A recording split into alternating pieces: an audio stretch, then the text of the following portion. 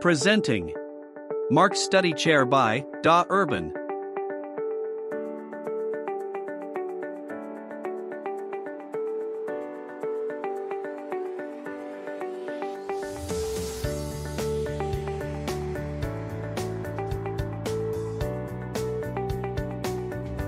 Unfold the chair.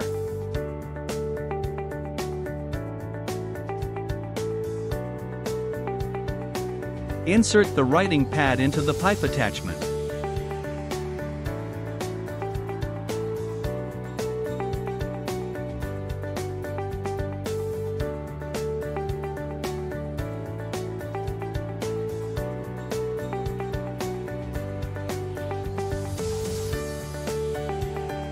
Open the flipping board and sit comfortably on the chair.